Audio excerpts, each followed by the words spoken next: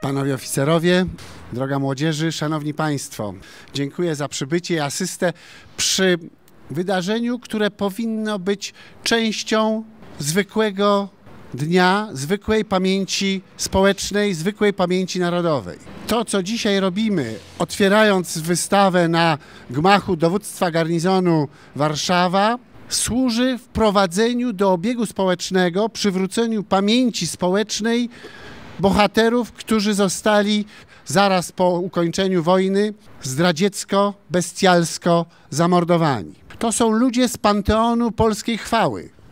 Weszli do historii, ale jednocześnie stworzyli podwaliny naszego obecnego dnia.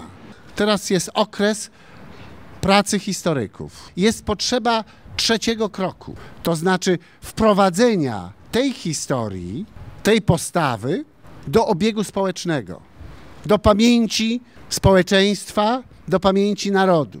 Jest pilna potrzeba, żeby pamięć o żołnierzach niezłomnych, o ich poświęceniu i bohaterstwie była częścią polskiej historii. Ta praca powinna była się zacząć równo z upadkiem PRL-u. Więc musimy to odrobić.